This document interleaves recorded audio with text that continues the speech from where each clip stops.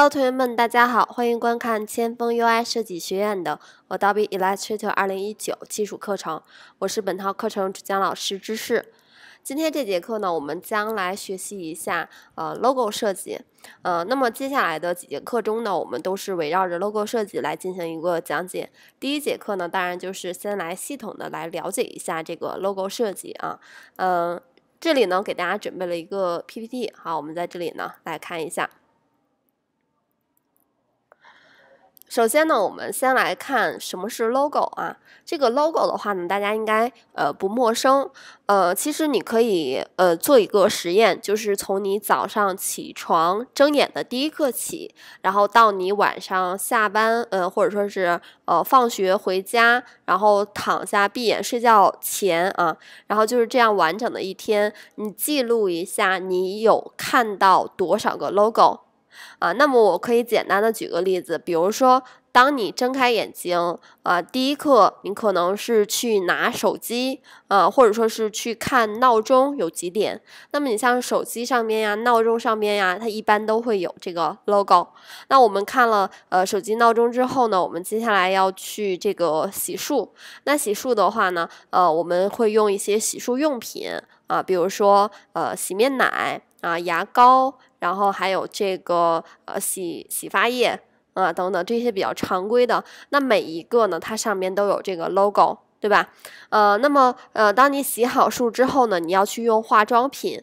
那化妆品的话呢，其实它也是每一瓶上面都带有 logo。那我们化呃洗好漱、梳好妆之后呢，接下来要换衣服，对吧？衣服的话呢，它也是有品牌的，那它上面也是同样的有 logo。那也就是说，当你早上还没有出门，只是呃，醒来在家的这一段时间呢，你就看到了很多个 logo，那可想而知，logo 它的一个重要性啊，它存在的一个重要性。好，然后我们来看，那商业标识呢是塑造企业形象、参与市场竞争的有力武器，是能产生信誉并能凝结着经呃经营者辛勤劳动和智慧的无形财产。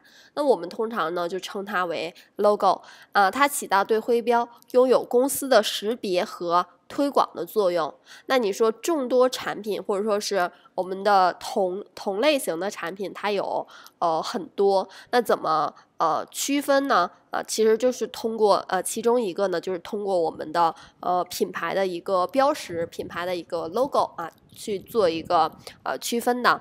呃，通过形象的徽标呢，可以让消费者记住公司主体和品牌文化。那第一个呢是。iPhone 苹果的一个 logo 啊，然后第二个呢是华为的一个 logo，对吧？啊，那手机有那么多啊，呃，它的种类很多，那一排手机放到那里，你怎么去区分它们？其实我们更多的就是用它的一个 logo 啊来区分它们的。好，然后下面呢，这个是呃 KFC，还有这个奔驰。好，logo 有什么特质？第一个啊，就要易于记忆，易于识别。嗯，因为我们在推广的过程中，我们的最终目的其实是想让大家记住它，让消费者记住它。所以说呢，你在设计 logo 的时候呢，要易于记忆，易于识别。第二个呢，就是传达清晰一致的企业形象。那 logo 设计呢，它肯定是具有一定的内涵的，或者说是它能够传达给你一些讯息，对吧？呃，然后这个呢是要传达清晰一致的企业形象。第三个呢，是在这个法律上要受保。保护，那，也就是说，我们的商标都要注册，啊，它是有商标注册法的，啊，它呢是受到保护的，你既不可以抄袭别人，别人也不可以抄袭你，啊，这是互相的，在法律上。然后第四个呢是具有持久的价值，就说我们的 logo 一设计，并不是说用个一年两年，对吧？一般呢，它会用几十年。啊，都不带改版一次的，或者说是轻微的一个改版，所以说呢，它是具有持久的一个价值。第五个呢，就是各种媒介都能良好的运作。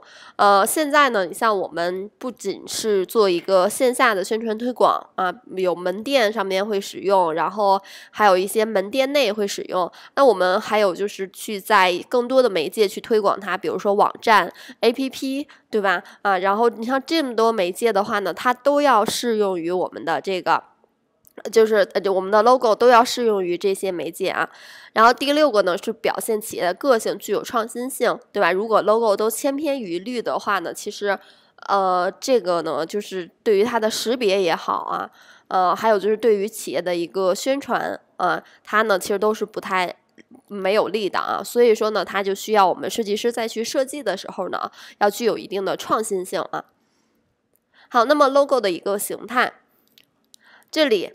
我们将 logo 呢大致就分为这三种形态，第一种呢就是特式的一个图案，第二种呢是特式的字体，第三种就是图案和字体的一个结合。那首先我们先来看特式的图案。啊，就是说你看到这些图案之后呢，你就知道它是呃什么 logo 啊。就算它没有写它的这个品牌的一个名字，比如说第一个呢，它是星巴克，对吧？第二个呢，它是苹果。那一个对勾是什么？就是一个耐克，对吧？一个三叶草是什么？就是一个阿迪达斯，对吧？这些呢，其实很多都是有这个特式的一个图案的啊，就是呃呃很多 logo 它就是直接用这个图案啊作为 logo 啊，大家就具有一定的识别。呃，那这些都属于表象的符号，独特醒目。图案本身呢，易被区分、记忆，通过隐喻、联想、概括等啊，抽象等绘画表现方法啊，来表示被标识体。好，那我们来看这个下面的特式文字，就是说直接用文字去做这个 logo 的啊，文字 logo。呃，像第一个创奇乐，对吧？它底下有一个 slogan 说，呃，创创是呃创奇乐啊。的智能游乐设备啊有限公司，它是做那个智能游乐设备啊，是这样的一家公司。然后第二个呢是真味啊，应该是卖这个常州小吃的啊一家 logo。那么这些的话呢，它只有特式的文字，对吧？然后第三种的话呢，就是合成啊，一个是图案和文字的一个合成，上面是图案，下面是文字，这是斗鱼的一个 logo。好，那么我们再去设计 logo 的时候是怎样的一个设计流程？大家在这里了解一下。第一个呢，就要了解品牌的需求啊，品牌定位、主要应用的方向、标准色及 logo 表现形式。那品牌定位呢是什么啊？以及它主要应用的一个方向啊，呃，这些的话呢，大家要呃提前做好调研，或者说呢，我们让那个品牌方要给到这样的一个需求，对吧？还有就是要了解一下品牌方的一个意愿是想要的标准色啊，以及表现形式是怎样的。好，那么第二个呢，就是我们有了这些需求之后啊，再去。呃，着手去做，那着手去做，可能大家就只是先手绘一个草图啊，就是，但是手绘草图之前呢，呃，不，不是说你灵感立马就有，对吧？或者说是你大概的样子立马就有，那我们肯定是要通过呃找寻这个灵感，呃，浏览各种不同的网站，那还有的话呢，就是要进行一部分头脑风暴啊，进行联想等，然后去手绘这个草图。那第三个呢，就是由草图转为电脑设计，成为矢量图啊。这个的话呢，就是要用到我们 AI 这个软件了啊，将这个草图转为电脑的矢量图。第四个呢，就是调整配色、质感、变形及细节的刻画。那有了 logo，最后呢，我们要定稿啊。定稿之后呢，要进行部分 VI 的延伸设计，比如说名片呀、手提袋呀、包装袋等啊，这些设计要做。那力求设计出的 logo 信息明确，风格简约，抓人眼球啊！这是啊，要求大家设计出来 logo 啊，要具备这样的一个呃特点。好，然后我们这个 logo 设计的时候需要注意的一个规范啊，第一个呢就是要使用矢量图。刚刚有说了，因为你的 logo 呢它没有固定的一个大小，你放在网页上，它其实大小就比较小啊。你放在那个我们的一个。比如说放在门上啊，一个办公区域，那它的大小肯定又不一样啊。那放在一一张特别大的一个展板上面，比如说十米乘以五米的一个展板上面，那它使用的 logo 的大小肯定相对来说要大一些。那所以说呢，你的 logo 要使用矢量图啊，这样的话你放大缩小呢，它能不失真啊，是这样。第二个呢，就是我们不要使用过多的颜色和。字体啊，这个呢是在设计里边一直遵循的一个原则啊，就是颜色不宜太多，字体呢也不用太多啊，要不然呢它会比较花。第三个呢就是让 logo 可读，不管是文字还是由重要的意义组成的一个图形啊，它具有一定的可读性啊，大致能让知道，呃，让让人们知道它是什么，对吧？文字写的是什么，这个图案是什么啊？第四个呢，要花时间去设计 logo。那 logo 它要用很长时间嘛，所以说呢，大家要花时间、花精力啊，然后多思考，然后去设计一个 logo。第五个呢，就是最好不要使用图片，对吧？大家很少其实见到这个 logo 上面直接放这个图片的啊。第六个呢，就是 logo 设计要考虑各种媒介，这个要考虑进去。第七个呢，就是参考其他 logo 设计来寻找灵感啊，这个也是我们在设计的时候需要注意的啊，一定要去参考，不能做井底之蛙，对吧？嗯，然后这个自己埋头做设计啊，就是设计从来都是埋不是埋头做出来的。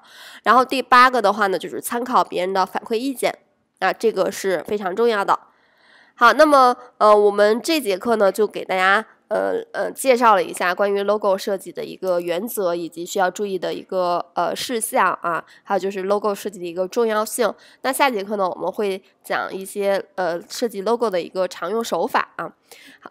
好，那今天的课程呢就上到这里了，非常感谢大家观看，我们下节课见。